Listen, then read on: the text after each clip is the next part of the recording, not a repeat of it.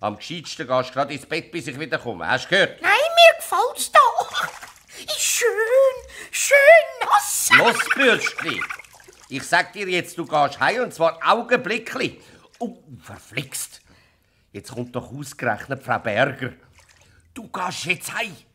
Auch wenn du unsichtbar wirst. Verstanden? Weiter ist der Meister Eder nicht gekommen.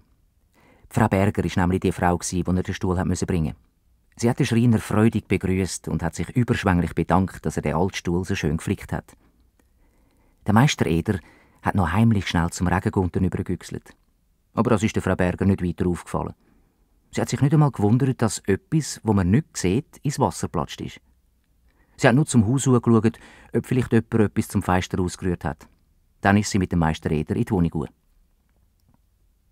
Der Pumuckl ist aber gar nicht gerade heimgegangen, auch wenn er ziemlich gefroren hat.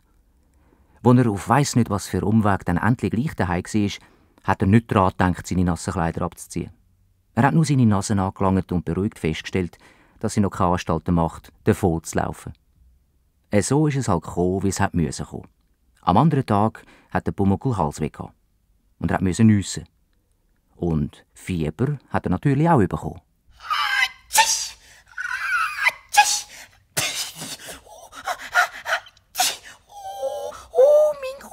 Aha, da haben wir es ja schon. Habe ich es nicht gesagt? Oh, mein Kopf ist so, so, so geschwollen.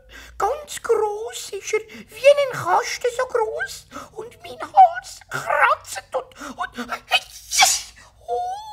Sterne, Fünfe, das hat mir jetzt gerade noch gefehlt, dass du krank wirst. Komm, zeig mal deine Zunge. Meine Zunge ist das Einzige an meinem Kopf, das nicht wehtut. Da, da musst du unter den Haaren anschauen. Sag. Aber beleidigt ist sie. Beleidigt? Mit was ist sie beleidigt? Wer hat etwas drauf gelegt? Ich will keine beleidigte Zunge. Mir wär's auch lieber, du wärst Zwerg. Ich bin nicht Zwerg. Ich. Musst du den Ofen heizen? Kalt. Fieber hast Da innen ist es schon warm. Nein, nein, eiskalt ist da innen. Eiszapfenkalt. Du gehst jetzt sofort ins Bett. Ich bin aber gar nicht müde. Ich habe noch. Eigentlich sollte ich dir jetzt Fieber messen, aber wie mache ich das? Der Fiebermesser ist fast so groß wie der ganze Pumuckl. Habe ich Fieber? Ziemlich sicher. Deine Augen glänzen auf jeden Fall ganz fiebrig. Augenfieber, Nasenfieber, Schäfli schaukeln tue ich lieber.